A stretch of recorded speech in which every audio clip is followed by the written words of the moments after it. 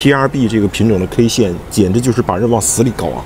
在 BN 的永续合约里面，最高涨到了五百五十五；在 OK 的永续合约里面，最高涨到了七百三十八。BN 的资金费率是四小时收一次，一次收百分之二，当天累积就是负的百分之十二。OK 之前的资金费率是负的百分之一点五，八小时收一次。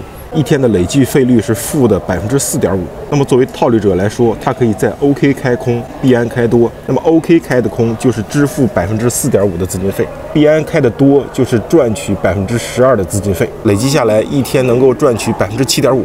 但是这个 TRB 的商家就是利用交易所的资金费率计算规则，来故意制造如此之大的差价，以及如此之大的资金费率差。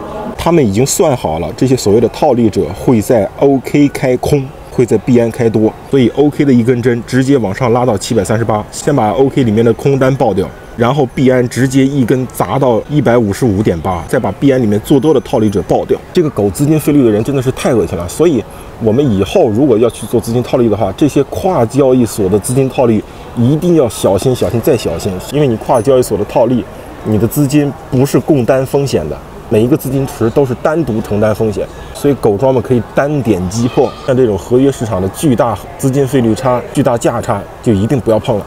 如果币安和 OK 真的想稳定这个市场的话，最好是下架这个品种，同时永久拉黑这个做市商，对这个做市商冻结资金、做顶格的处罚，不然这个市场都会被他们玩坏的。